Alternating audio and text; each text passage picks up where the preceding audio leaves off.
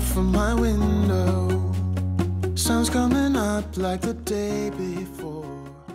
Hallo ihr Lieben, willkommen nach langer Zeit hier zurück auf meinem Vlog-Kanal. Wer mir auf Instagram folgt, der weiß so, was bei mir ungefähr los war in meinem Leben. Kurz und knapp gefasst, äh, weil ich nicht so viel darauf eingehe, weil ich das ja bewusst auf Instagram Story gemacht hatte, weil ich so eine Geschichte nicht für mein Netz haben will. Aber mein Kleiner hatte eine äh, Zahn-OP. Äh, leider war es so nötig. Das Ganze war unter Vollnarkose und wir haben den Kleinen abgeholt. Und nach der Vollnarkose hatte man so ein Ellbogenbruch, weswegen ich drei Wochen nicht arbeiten konnte, wir uns um den Kleinen kümmern mussten, jetzt auch Traumatherapie und allem möglichen. Rechtsanwälte, alles eingeschaltet. Ähm, das ist so kurz und knapp. Mehr kann ich und will ich nicht dazu sagen, weil es halt auch was Rechtliches ist. Deswegen, mir war es zu viel, ist a little bit too much in letzter Zeit einfach gewesen. Und auch ich habe dann mal gesagt, so jetzt ist Schluss mit lustig, ich kann nicht mehr, ich trete zurück.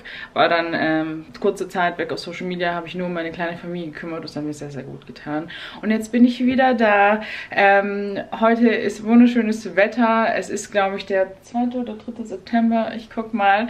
Ähm, ich habe mir auch gedacht, dass ich die Vlogs wieder so schreibe, dass ich wieder sage, welches Datum ist. Meine Haare, ich habe sie äh, in letzter Zeit sehr oft geglättet und gestern war bei uns Nebel und deswegen sind sie nach oben gegangen. Absolut, glaube ich, eine schöne Frisur geworden. Was ich heute Morgen gemacht habe, ich habe tatsächlich ähm, die Kiste gepackt mit Make-up, weil ich sehr viel aussortiere. Ich merke, ich habe auch voll viel Zeugs daheim und brauche ich so viel. Ich habe mich viel mit Marie Kondo beschäftigt und, und, und. Und habe jetzt schon mal eine Kiste vorbereitet mit Adventsverlosungen, die ich jetzt schon im September vorbereite. Dinge, die ich generell an Freunde, Familie verschenke. Ich habe letztes Mal hier meinen ganzen Nachbarn, glaube ich, zwei Riesenkisten an Make-up verschenkt und das zeige ich euch mal. Egal wie viel ich aussortiere seit Jahren, egal wie viel ich Leuten verschenke, egal, ich, man, viele Sachen verschenke ich auch an Weihnachten, an Bekannte, an Freundinnen, ich verschenke es an die Nachbarn und es ist trotzdem, jedes Mal denke ich, ich habe alles weg und jedes Mal, ja, ähm, ich persönlich benutze die auch gerade, aber nicht in der Farbe. Die ist, glaube ich, die hellere Variante. Genau, voll viele Sachen. Auf jeden Fall gibt es viele Sachen, die in die Adventsverlosung kommen. Hier noch. Ich habe auch festgestellt, ich habe hier Victor und Rolf Flowerbomb. Meine Güte, Donja. Aber egal. Ich packe das jetzt erstmal alles in eine Kiste, damit es alles an einem Platz ist. Das ist schon mal gut. Mache ich zu und ist dann ready. Seit dem letzten Mal, merkt man, habe ich auch meine Wand ähm, hier gestrichen. Aber ich muss jetzt gucken, wie ich das hier hinten dekoriere, weil ich fühle irgendwie die Farbe, ich mag das. Was kann ich euch erzählen? Was ich in der Zeit gemacht habe, mich halt um meinen kleinen Sohn gekümmert. Ich nehme an verschiedenen Coachings teil. Ich mache gerade momentan drei Weiterbildungen. Weiß auch nicht, was mich geritten hat, das alles zur gleichen Zeit zu machen. Aber ich denke, wenn die Seele ruft, dann ruft die Seele.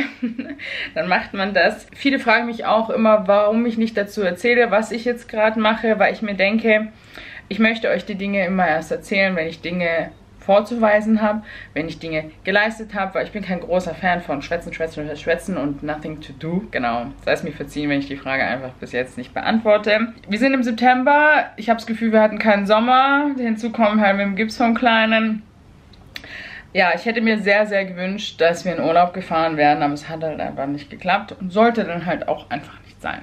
Deswegen haben wir uns hier beschäftigt. Wir waren mal in der Wilhelma, wir waren mal im Karlsruhe Zoo. Ja, was man halt so mit einem kleinen Kind macht. Ich war viel in der Küche, habe viele Sachen getrocknet, gebacken, gemacht, was man so von mir kennt. Und gerade eben trinke ich auch meinen Tee. Nicht lachen, schon eine Weihnachtstasse, beziehungsweise die Weihnachtstasse habe ich eigentlich nie weggepackt. Haben wir so einen Kräutertee ähm, gemacht. Ihr wisst ja, ich trinke sehr viel Kräutertee. Ich trinke zwei Kaffee am Tag, zwei, drei Kaffee am Tag. Jeden Tag äh, so ein grünes Getränk, was ich seit September, glaube ich, 2020 durchgehend trinke, seit meiner Bestrahlung und Chemo. Ähm, was es aber ist, es kommt in einem meiner zukünftigen Videos. Das hatte ich auch mal auf Instagram gesagt, weil vor viele mich gefragt haben, ja, was ist es denn? Äh, weil mich auch viele fragen, wie es mein Wohlbefinden ist jetzt so ein Jahr später, wie es kommt, dass meine Haare so wachsen und, und, und, und, und. Und ähm, zum Haarwachstum kann ich nur sagen, ich denke, es ist viel Genetik und auch Ernährung, aber halt auch, ähm, ja, das, was man zu sich nimmt. Aber ich werde jetzt nie sagen, an diesem Produkt liegt es, dass meine Haare so lang sind. Es ist eine Kombination von allem. Und ich versuche sehr, sehr viel auf mich zu achten. Dann, genau, zeige ich euch, was ich in letzter Zeit gemacht habe. Wir sind hier in meiner Küche und man sieht, ich habe so einiges getrocknet. Und zwar ähm, immer wenn ich zu viel Gemüse kaufe, weil gerade Saison ist oder ich war letztes Mal beim Bauern oder oder oder, dann und ich es nicht verarbeiten kann, dann koche ich es entweder ein oder ich tue es trocknen. Da ich die Einzige bin, die Pilze so liebt, natürlich Lamizemi auch und so, aber die sind halt jetzt nicht da, mache ich meistens getrocknete Pilzen für Pilzsoßen für mich oder Pilzsuppen. Hier habe ich ein bisschen äh, Suppengemüse aus Pastinaken, Petersilienwurzeln, Karotten getrocknet, Lauch und hier habe ich getrocknete Zucchini, weil ich so viel Zucchini gekauft hatte, dass ich mir nur dachte, so viel Tomatensauce und Brot kann ich nicht mehr backen. Hier hat mir meine Freundin getrocknete Minze aus ihrem kleinen Balkongarten gebracht.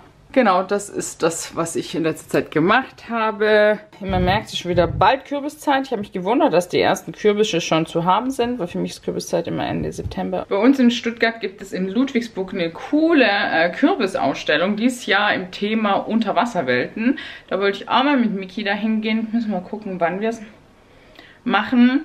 Ähm, voll viel hat mich auch gefragt, warum der Kleine gar nicht mehr so oft in den Vlogs auftaucht, ob ich dann bewusst sage, nein. Bei mir ist es, ich habe ja immer gesagt, ich vlogge so mein Leben als Baby war die ganze Zeit, weil er mir ja auch nicht gesagt hat, ob er möchte oder nicht und ich habe es in meiner eigenen Verantwortung gemacht und ich habe festgestellt, seitdem er größer geworden ist, wenn ich dann die Kamera drauf gehalten hatte, dann ist er manchmal gekommen, hat vor sich hingebrabbelt oder irgendwas gesagt. Und jetzt ist es mittlerweile so, dass er von 20 Mal, wenn ich die Kamera hochhalte, kommt er einmal, weil der guckt mich dann immer an und sagt, ich möchte jetzt spielen gehen. Raus. Oder raus aus dem Zimmer. Oder ich will jetzt nicht in die Kamera. Oder er will selber die Kamera äh, nehmen.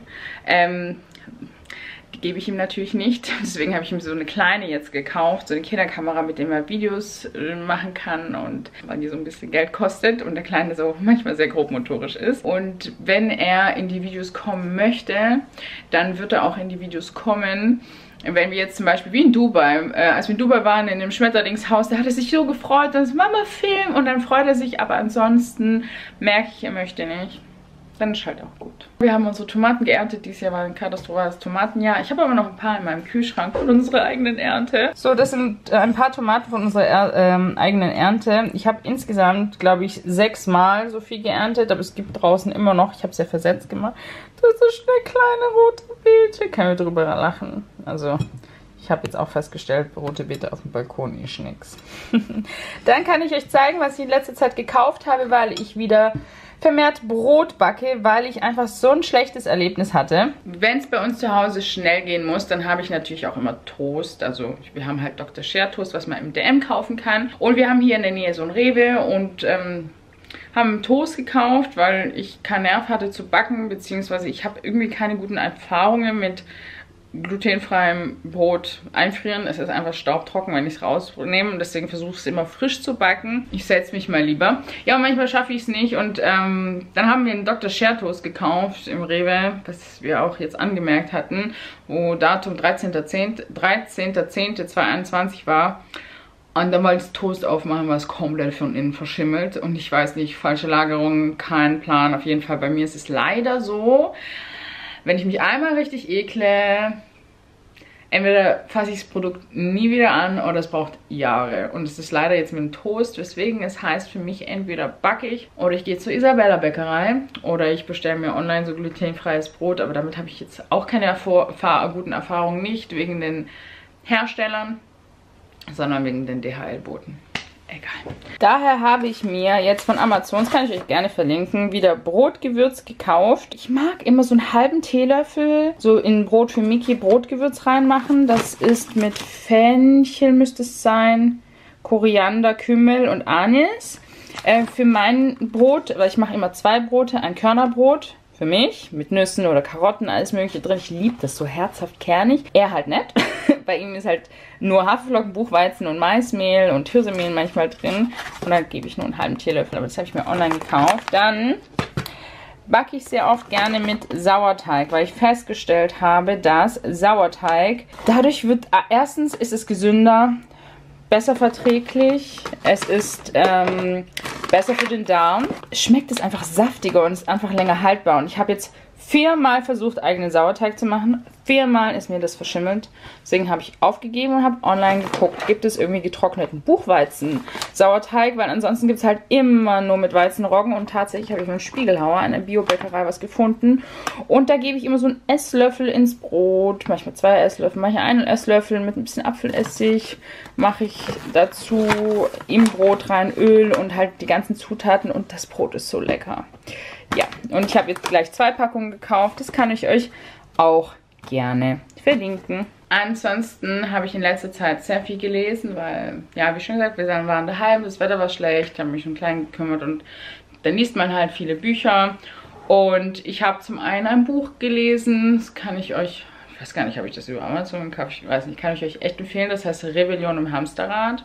Ja, kann ich euch mal zeigen, aber ich dachte mir eh, in Zukunft mache ich dann eher so ein Buch-Favorites-Video, weil ich will wieder Favoritenvideos machen auf meinem Hauptkanal, der bald wieder aktiv wird. Und da fangen wir mit einem Favoritenvideo an. Also ich merke einfach, ich liebe Favoriten. Ich habe vorhin auch ein Cozy 4 Favorites Video von 2020 aber angeguckt, von so einer ganz kleinen YouTuberin mit 5000 Abonnenten.